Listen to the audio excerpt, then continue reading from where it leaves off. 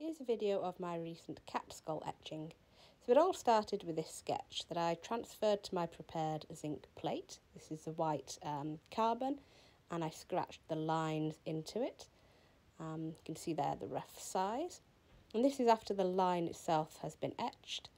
After that I add the aquatint, so I use some of the Lascaux acrylic aquatint.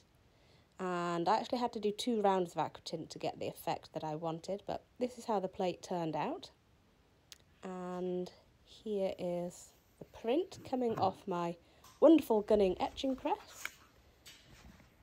I printed it on some cream paper in a really dark brown and there's some close-ups.